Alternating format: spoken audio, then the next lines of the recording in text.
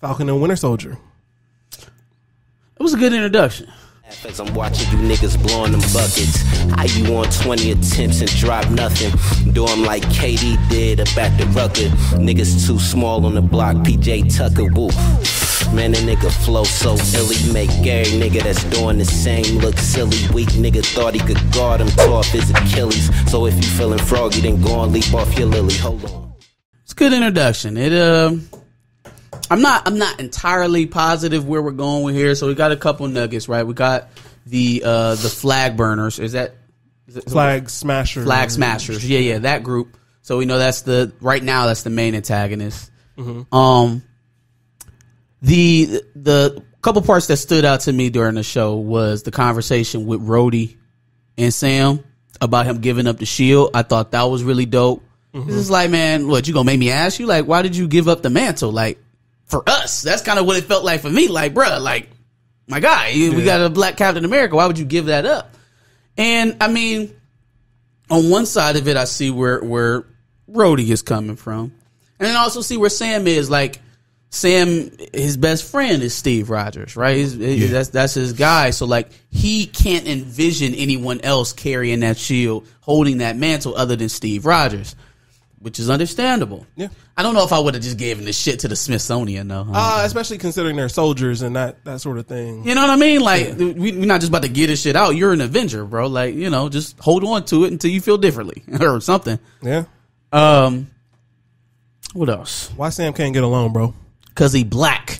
Cause he black. I swear to God, I ain't never seen nothing like that in no fucking Disney movie. Niggas getting denied loans and shit. Fam, why Captain America ain't lead them niggas no insurance money? You know what I mean?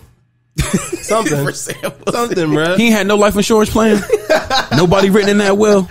No, I'm trying to figure out how these niggas saved the world and they broke. That's what I'm Now, saying, now, now, fam. now, now, now, listen to me. Now, listen to me. and you accumulated I so much debt in the process. You accumulated mad debt I in the understand. process. He's worth a selfie, but he Right. can't get a loan. Fam, you, you're asking me for a selfie as you're denying me loan loan money. Um, Take this picture, bro, but nah, nah, still Not not. to mention, my family has been banking with you for generations, right? That's what he said. Yeah. Um, but yeah, no, that's crazy. Nigga too busy fighting crime. He ain't work on his credit score. The only race of people that can save the planet and still not get approved for a, for a bank loan is black people, for sure. That one thousand percent accurate. It accurate. doesn't get more American One than that. thousand percent accurate. Because at first I'm looking at it like, man, get the fuck out of here, bro. I, I saved the fucking world. I- You're alive because of me. Literally, Bitch, this Give bank's still here 'cause of me. But then I'm thinking like, well, yeah, no, damn, he black. He had no income the last five years. He just been fucking shit up. Like, what was your actual job? Like, what do you what do you got going on? Catching crazy. fades. Um, man, the the fight, the first opening scene with I was about Falcon to say it, kind of contrasts with the fact that you said there was like almost no action In WandaVision. Oh, yeah, you and can tell- right off with it. early on. There's going to be a lot of lot of fight scenes, a lot of action in this. Um, that was the best I've that really was the best I've ever seen Falcon fighting. I Like, did kind of predict that he'd fly through the helicopter to, to save dude to save that. Oh, that was I kind of saw that. coming. him going through the canyons and all that shit. Like he's a superior flyer even against like machines, helicopters, Yeah. jets, and shit like that. So that's that was pretty dope. Seeing Bucky back in the Winter Soldier shit. He was killing it in oh. action scenes. He killed his homie son. Killed his homie son. I don't know why I didn't put that together when he was telling the story about his son being missing after we had seen that scene, but I didn't notice it until the end where he was like he kind of peeked in the apartment and seen the vigil. Mm-hmm. So I was like, oh damn, yeah, he bodied his son because he was wrong place, wrong time. How you think they're gonna come together?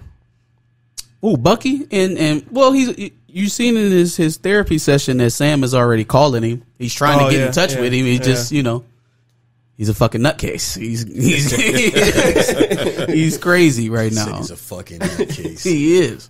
And the last thing is, uh, who the hell was that great value Captain America they had at the end? So that is um John uh, Agent John Carter.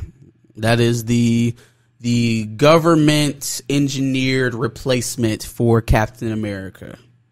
Yikes. So in in the books, he is um he has it's, he's like a, a they tried to recreate the super soldier serum, right? And he has the the strength, the agility, the speed, and all of that, but his moral compass is fucked. So it'll be interesting to see how you know that plays out in the show. Yeah, Um, because bro was up there looking hella gooberish. I was like, man, he not even like, filling out the goofy as suit. He shit. looked goofy. as I was like, who is this generic bootleg Captain America? This America? nigga they got turned around, he looked like fucking Ernie. He looked like, Nigga said Ernie.